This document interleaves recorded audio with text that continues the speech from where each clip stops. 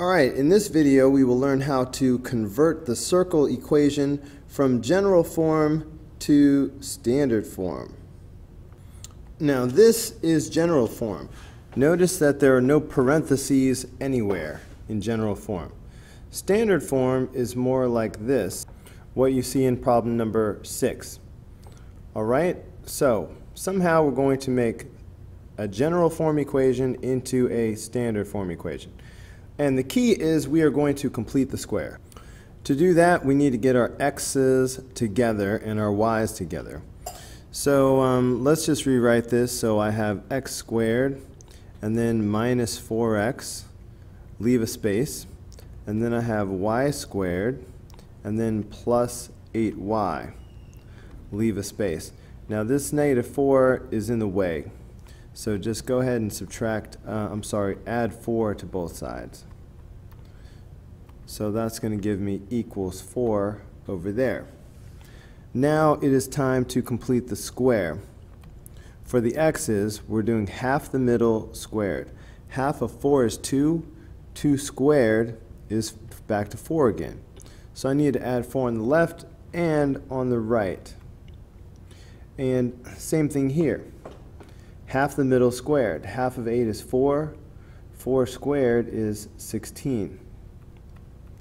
So I'm going to add that to the left and to the right. Now, completing the square always leaves it so that this will factor as the same thing twice. In this case, x minus 2 times x minus 2. The sign always comes from the middle term. And then we've got the y's. This would be y plus 4 um, times y plus 4. Okay? now, over here, I've got 8 plus 16, that is 24. All right, to finish putting this in standard form, I will pull these together as x minus 2 squared plus y plus 4 squared is equal to 24. So that is how you go from general form to standard form. Okay, I think we need to do that one more time for number 5. This one's slightly different um, because the x squared doesn't have an x term to go along with it. That's okay. Um, the x squared will just stay x squared the entire time. So I've got x squared plus y squared plus 6y, leave a space, and uh, this 12 has to go away. So let's do the opposite and add 12 to both sides. So that'll give me 12 over there. so it is time to complete the square with the y's, all right? Just the y's half the middle is 3. 3 squared is 9. So we're going to add 9 to both sides.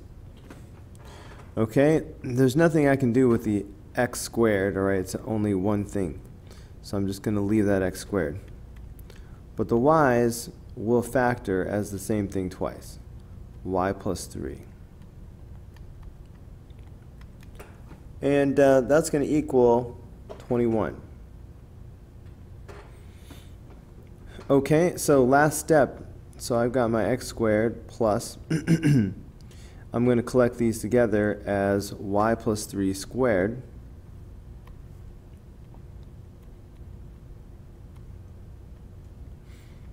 Okay, is equal to 21.